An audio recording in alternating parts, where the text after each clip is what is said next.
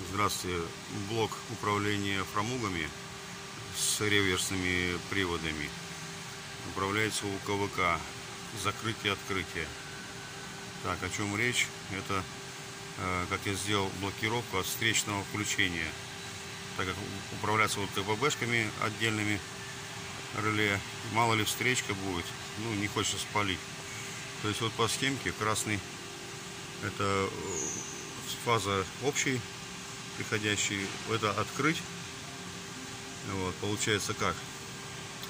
А, включается это реле, а, пошло открытие.